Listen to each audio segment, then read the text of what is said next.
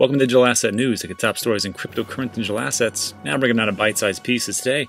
Got some fantastic news. First up, Kraken is now going to be a registered bank in the state of Wyoming. Why this is huge, why this is going to change everything, and why I'm going to be changing my banks quickly. Also, this is a follow-up from yesterday's video, but we're going to talk about MicroStrategy outperforms the NASDAQ Composite after a 175 million Bitcoin purchase is made. This is on top of their 250 million Bitcoin that they already purchased and what actually happened to their stock, which in my opinion is more of a bullish story than them actually buying the Bitcoin. Also, we're going to talk about Chainlink to start supplying data for Crypto.com's DeFi wallet, which will lead us into question of the day where we answer the question, which is how do I buy Theta? So we'll get to all that, but let's take a look what's going on with the market. So today, September 16th, about 10 a.m. Texas time, and it looks like Bitcoin finally broke above that 11,000, or at least back above 11,000. So I'm happy with that. 2.6 for 24 hours and 9% for the seven day. I will take those numbers. Ethereum uh, almost at 370, 375 at 1.5 and 10% up for the week. Not too shabby as far as gains. Those are the kind of gains you might see in DeFi, but here they are in Ethereum. We'll take it. Tether's Tether, nobody cares. XRP, 24 cents. Pretty much you've got two stable coins at number three and four. Polkadot down 2%, but up 20% for the week, so not too bad. Bitcoin Cash down 0.1, but they're in that sixth spot, and we'll see what happens with that whole Bitcoin Cash hard fork coming up in November. Chainlink down 4.5, even though they've, they've got good news. What are you going to do? Binance down 1.4, even though they got into DeFi. Also, what are you going to do? Crypto.com only at 0.4, even though they got into DeFi. That's how it is. DeFi is not as uh, hot as it used to be, but I believe it has its place and everything else is pretty much standard except for Yearn Finance down 10% for the day. Ouchie. 35,000 though per token. Uh, if you're uh, in Finance token holder and you got in early, congratulations. But uh, I'm not touching that. And down we go. Synthetix down one and a half. Theta down three percent. What are you going to do? 28% for, for the week. Not too bad.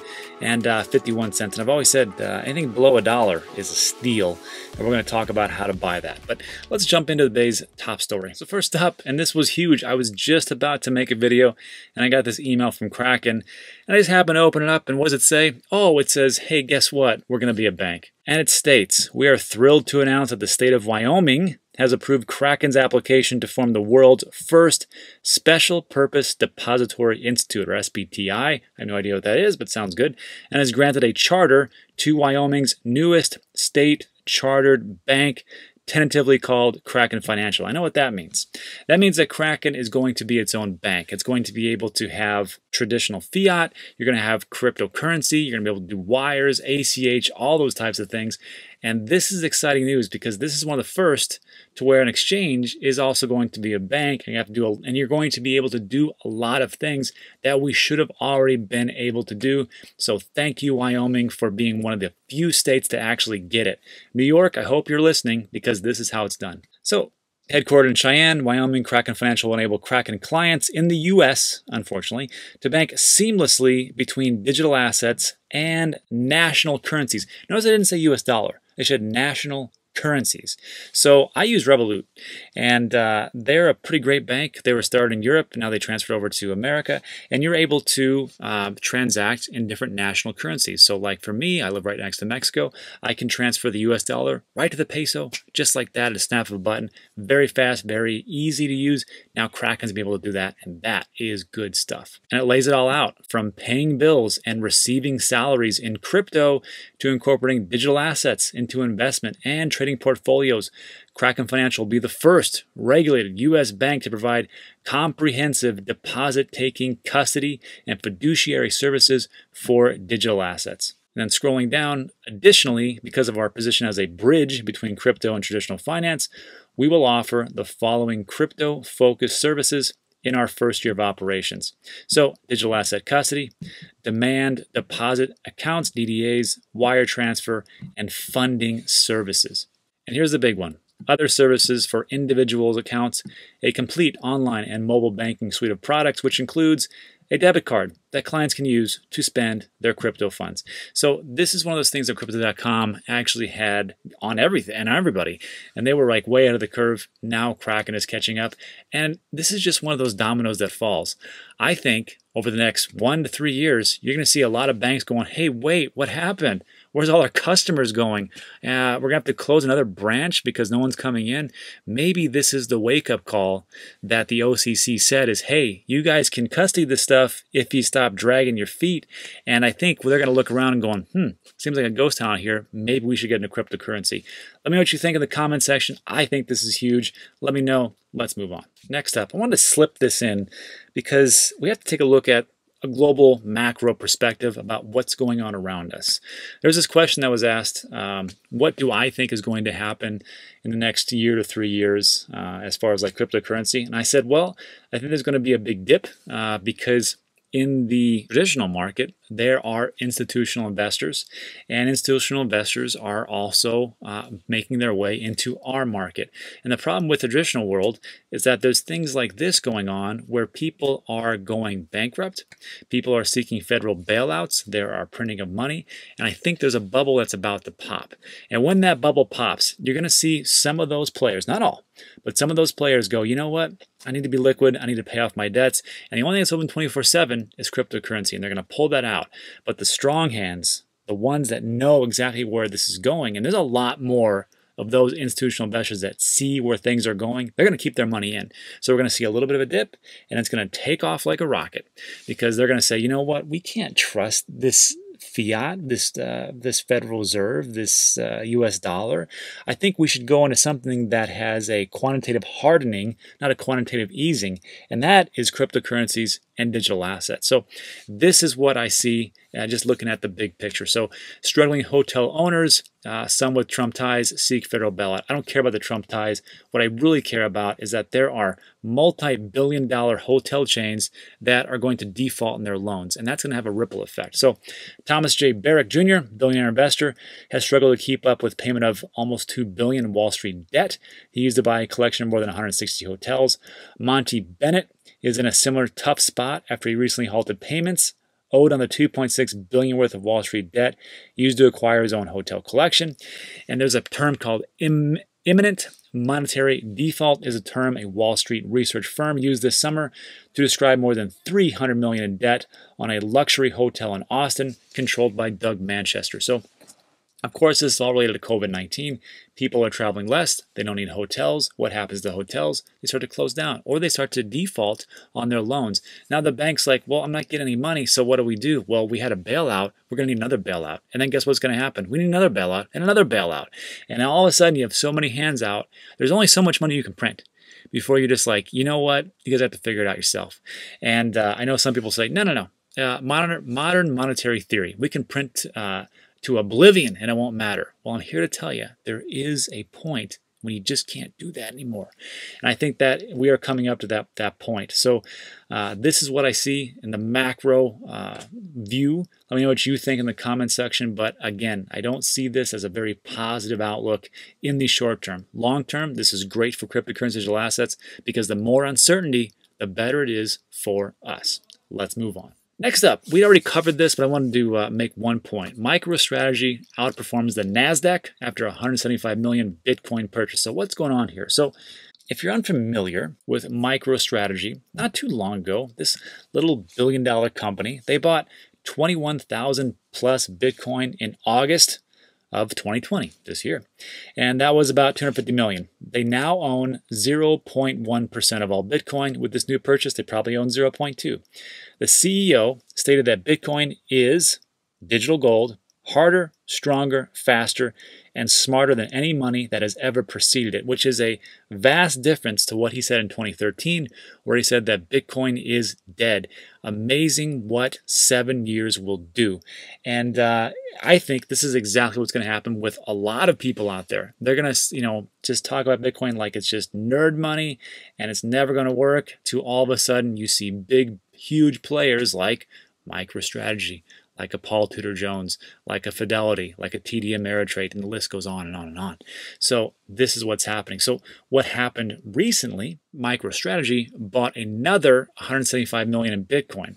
And what happened when they did that was that their stock rose over 9% as the CEO revealed what had happened. So what this says to me is that it's not just the CEO that thinks this is a good idea It's the shareholders who say, you know what? This is great for us.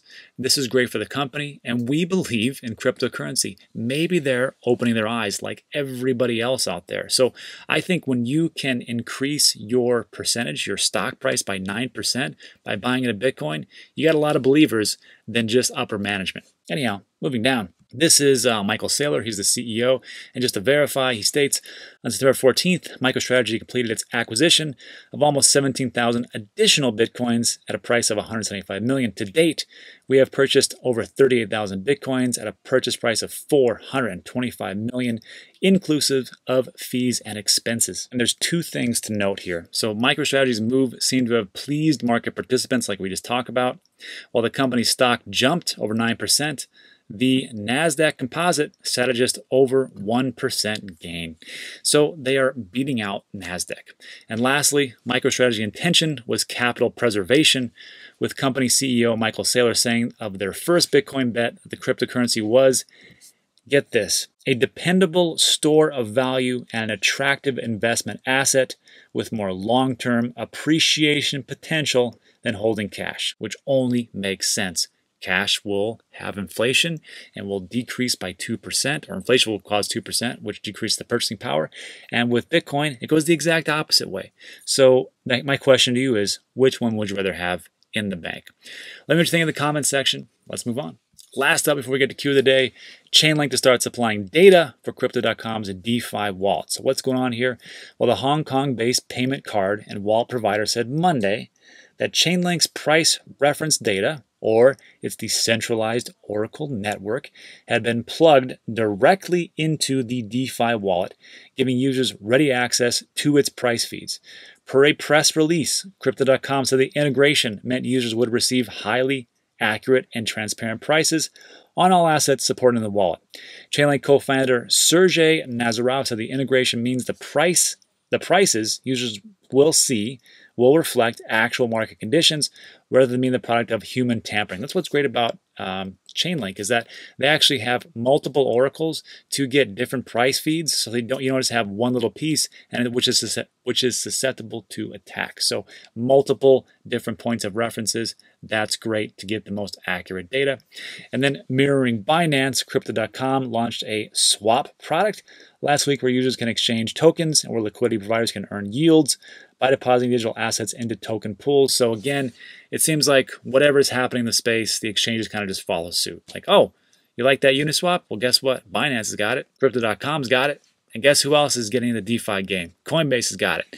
Well, they have YFI and they have UMA, which is which are uh, decentralized finance products. So uh, we'll see how that all works out for them. But just to make sure that this partnership was accurate, I went to Crypto.com, the official website, and I scrolled all the way down to the blog. And when the blog comes up, comes up, I just went and take a look at all their different um, uh, products and uh, information that they have. And it looks like on the third row, Crypto, Chainlink, DeFi, Crypto.com successfully integrates Chainlink to power ambitious DeFi roadmap for CRO.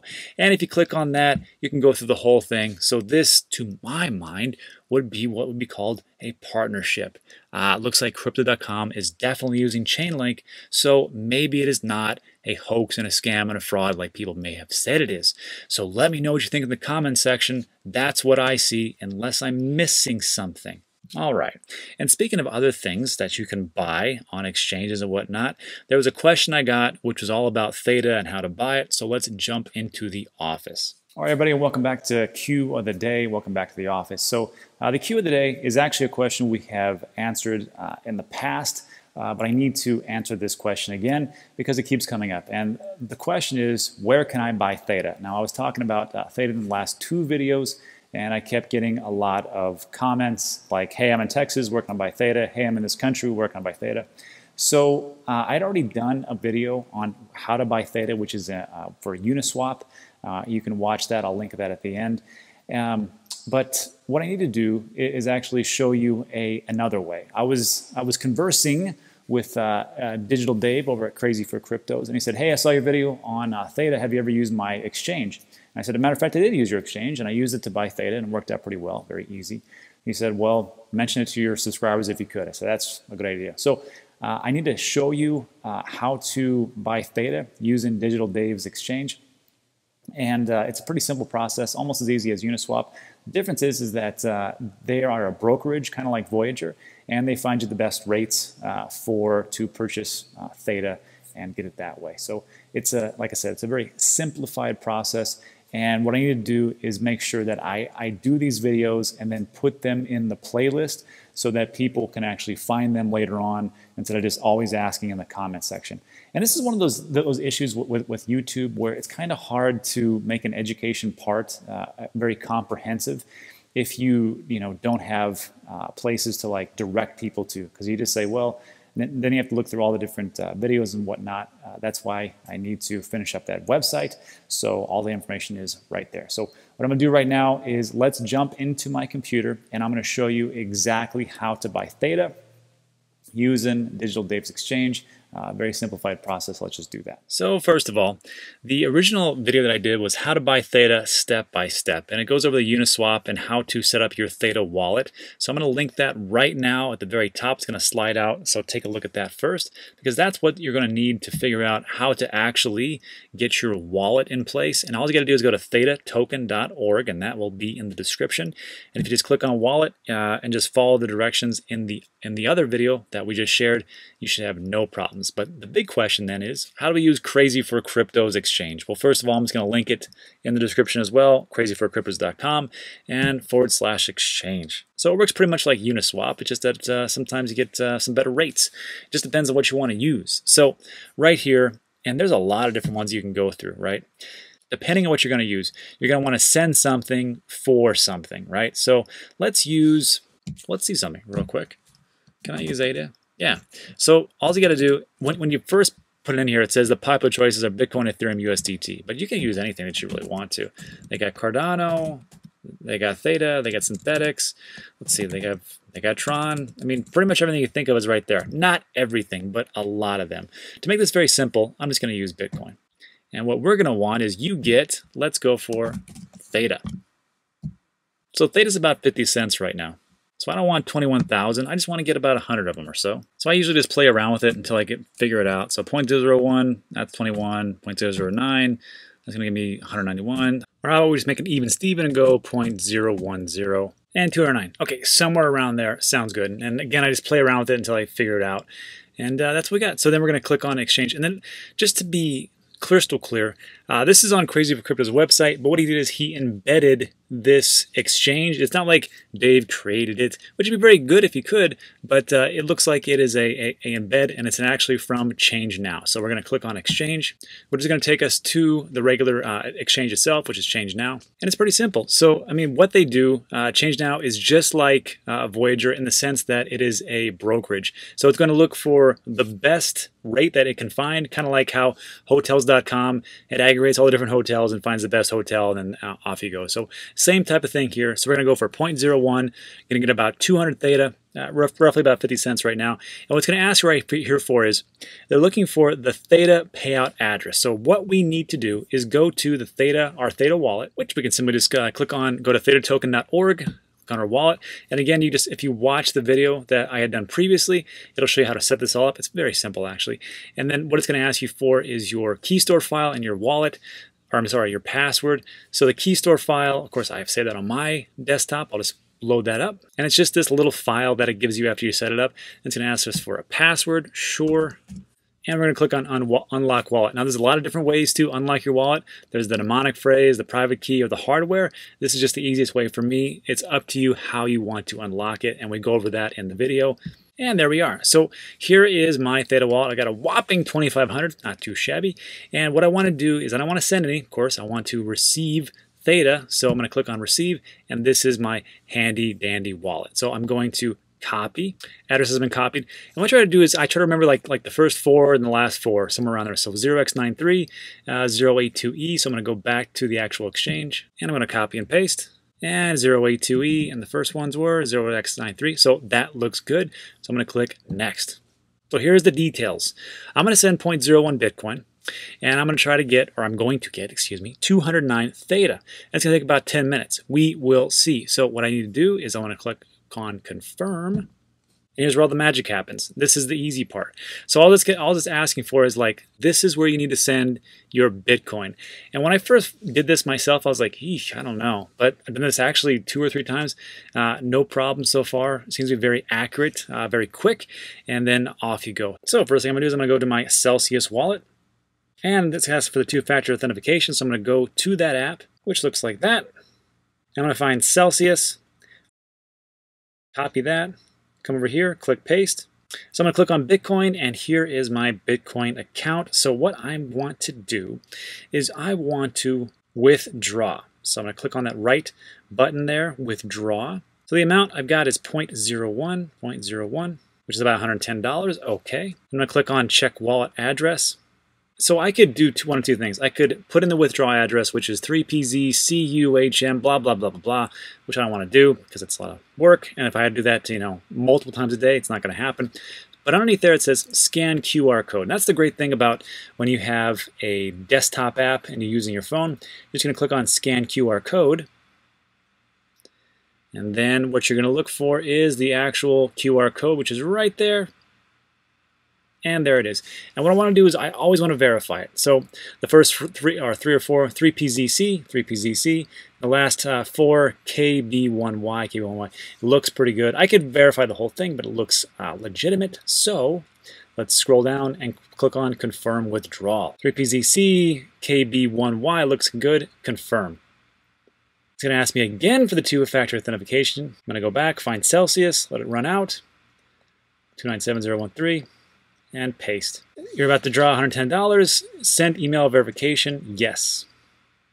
So this seems like a real pain when you're going through it, you know, because there's all these different steps, but it is for security, it is for your own good, so sure, I will let that happen. So now I'm going to go do is go back into my email account and just look for that email so I can confirm this and confirm withdrawal request.